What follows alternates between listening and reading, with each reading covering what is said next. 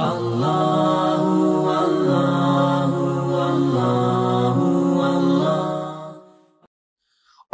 इमाम सज्जाद हक भी बता रहे हैं, अल्लाह का पहला हक बंदे के ऊपर है, उसकी इबादत करना। अब उसकी इबादत कुरान करीम कहता है, वमा खलकतुल जिन्ना वल इंसा लियाबुदून। हमने जिन्नात और इंस को नहीं पैदा किया, मगर इसलिए कि वो हमारी इबादत करें। तो इमाम भी कहते हैं, पहला हक है इबादत। और कुरान भी कहता है, मैंने पैदा किया तुम्हें इबादत के लिए। अब इबादत कैसे करनी है? खुदा की कसम, अगर आप शिया हैं, अगर आप अली वाले हैं, अगर आप इमाम सज्जाद वाले हैं तो आपको इबादत से हटना नहीं है। आपको नमाज़ से हटना नहीं है। इसलिए कि नमाज़ दीन का सुतून है। एक लफ्ज मैंने आज रिवायत में पढ़ा, उसमें मौजूद है इन्हा कुर्रत आयनी।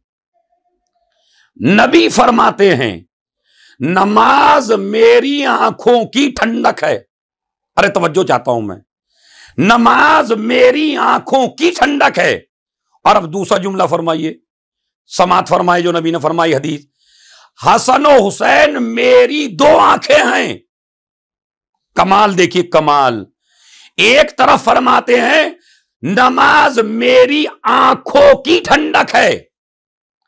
एक जगह फरमाते हैं, हसन हुसैन, मेरी आँखें हैं।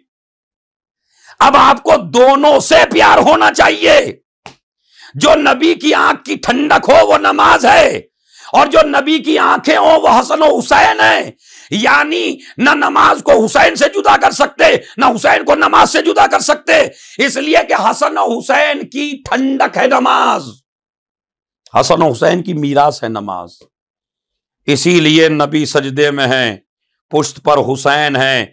न हुसैन को उतारा, न नमाज़ को रोका ताकि दुनिया को बता दिया जाए। नमाज़ भी ज़रूरी है, हुसैन भी ज़रूरी है। एक सलावाद भेज मोहम्मद और आल मोहम्मद पर याद रखिए, गौर फरमाएँ इस मसले के ऊपर। आज हमारे आजादार दूर होते जा रहे हैं। मातम करते हैं, आजादारी करते हैं, नोहा पढ़ते हैं, शब्बेदारियाँ करते हैं। सब अच्छी बातें हैं, करनी चाहिए हमारा फरीजा है, करनी चाहिए। लेकिन जिस इमाम ने आजादारी शुरू की है, जिस इमाम ने तहरीक आज़ा शुरू की है, जिस इमाम को आप अपना इमाम मानते हो, जरा उसके अलकाब पढ़ो कितने हैं। अब मैं आपको अलकाब बता रहा हूँ, दो तीन, कितना कांटेक्ट आपका मज़बूत होना चाहिए आपके परवरदिगार से, अपने महबूद से। पहला लकब है इस इमाम का सज्जाद। सज्जाद। सज्जाद मुबालगे का सेगा है गिरामर के लिहाज से। अरबी गिरामर, माशाल्लाह, आप तो शारजा में रहते हैं, अरबी आप जानते हैं, इतना तो माशाल्लाह आपको नॉलेज है ही कि साजिद सजदा करने वाला। सज्जाद बहुत ज़्यादा सजदा करने वाला। साजिद के माना अलग हैं, सज्जाद के माना अलग हैं। सज्जाद बहुत ज़्यादा सजदा करने वाला। पाँचवें इमाम से पूछा गया, कितना सजदा करते थे? का कोई नेमत मिलती थी मेरे बाबा को तो सजदा करते थे। दो आदमियों में सुलह कराते थे तो सजदा करते थे। कुरान करीम की आयत में जहाँ सजदा आ जाता था, वहाँ सजदा करते थे। कोई मुसीबत दूर हो जाती थी तो सजदा करते थे। कोई खुशखबरी मिलती थी तो सजदा करते थे। इस सजदे की वजह से हर नेमत पे सजदा, हर रहमत पे सजदा, परेशानी दूर होने पे सजदा, खुशखबरी पे सजदा और खाली सजदा नहीं, उसके बाद इमाम फरमाते हैं कि कुरान पढ़े तो सजदा। दो आदमियों के दरमियान सुलह करा दी तो सजदा। इमाम सजदा किया करते थे। आप ये बताइए, हम में से कौन ऐसा है जो इतने सजदे करता? कोई है ऐसा? वैसे इमाम सज्जाद को मानते हैं, इमाम जैनुल आबिदीन को मानते हैं, लेकिन सजदे से वो उल्फत नहीं, सजदे से वो प्यार नहीं, सजदे से वो मोहब्बत नहीं। तुम्हारा इमाम कहता, मेरे बाबा, पांचवा इमाम कहता, मेरे बाबा, हर नेमत पे सजदा करते थे। तो आप कर सकते हैं मतलब इतना भारी काम नहीं है। खबर मिली, तुम्हारे बेटा हुआ। हॉस्पिटल में बाद में जाना, पहले सजदा करो। खबर मिली, लड़की हुई, पहले सजदा करो। जॉब मिले, सजदा करो। रिज्क मिले, सजदा करो। बेटियों का अच्छा रिश्ता आ जाए, सजदा करो। नेमत औलाद मिल जाए, सजदा करो। कहीं से खुशखबरी मिल जाए, सजदा करो। मुसीबत टल जाए, सजदा करो। बीमारियाँ दूर हो जाए। सजदा करो। हम क्या अपने इमाम की सीरत को फॉलो किए हुए हैं? क्या हम मानते हैं कि हमारे इमाम की सीरत ये थी, मगर हम कितने दूर हो गए? और इस सजदे की वजह से देखिए, इस इमाम के जितने लकब है ना, इबादत से कितना करीब करते हैं आपको। तो आप उन अजादारों की बताइए, मुझे इस्लाम में जगह क्या है जिनका इबादत से कोई रबता नहीं है? जिनका इबादत से कोई कांटेक्ट नहीं है? वो ये कहते हैं, हम तो अली अली कर लेते हैं, एक दफ़ा वज़ू के लिए अली कर दिया, एक दफ़ा नमाज़ के लिए अली कर दिया, एक दफ़ा अजान के लिए अली कह दिया, हमारी इबादत हो गई, हम नहीं करेंगे। तो सवाल यह है, पोते की इबादत तो देखिए मुझे आप ये बताइए, जिस तरह आप अली को इमाम मानते हैं, क्या चौथा आपका इमाम नहीं है?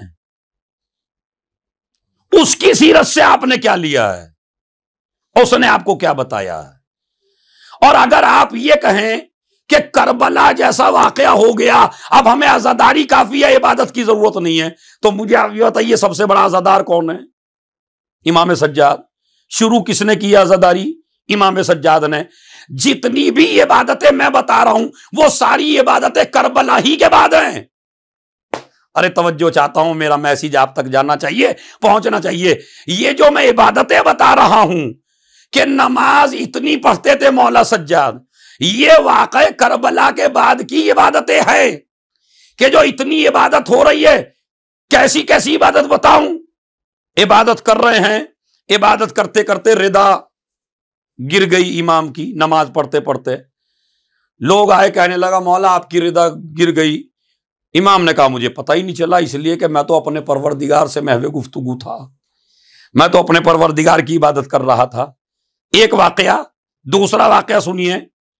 इमाम मोहम्मद बाकी छोटे से कुएँ में गिर गए। फातिमा बिनते इमाम हसन, जो इमाम मोहम्मद बाकिर इस्लाम की वालिदा हैं।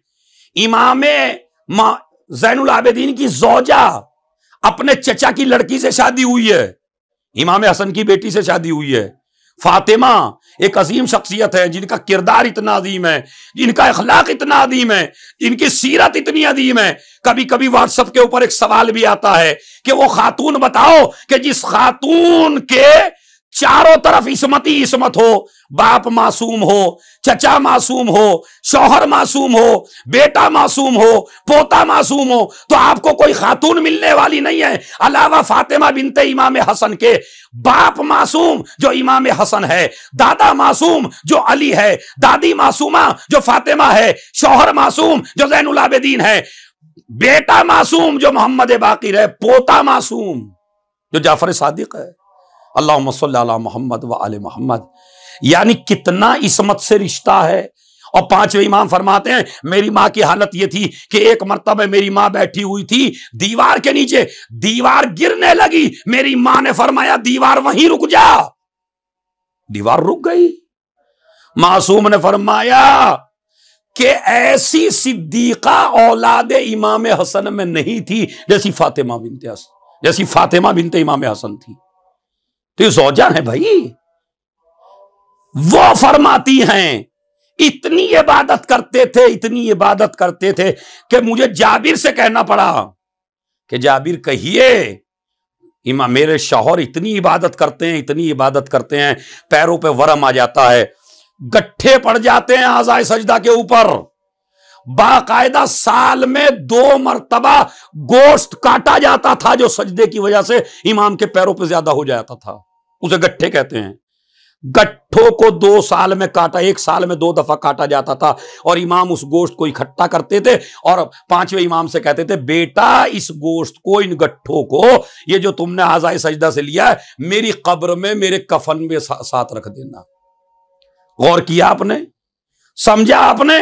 वाक़ करबला के बाद अगर तुम्हारा इमाम तुम्हें सिर्फ़ आजादारी करता नज़र आए तो तुम भी आज से आजादारी करना। और अगर तुम्हारा इमाम वाक़ करबला के बाद ना नमाज़ सुबह कजा हो, ना नमाज़ ज़ोर कजा हो, ना नमाज़ असर कजा हो, ना नमाज़ शब कजा हो, और इबादत में इजाफा ही इजाफा हो तो जब बानी ऐसा है तो मानने वाला कैसा होगा? एक सलावाद भेज दे मोहम्मद और आल मोहम्मद पर।